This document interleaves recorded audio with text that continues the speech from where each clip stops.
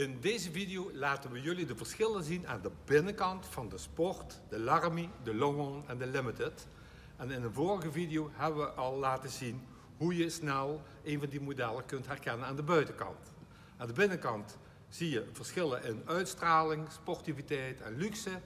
En ook de opties kun je links en rechts al zien zitten. En ik zou zeggen, geniet van de volgende shots.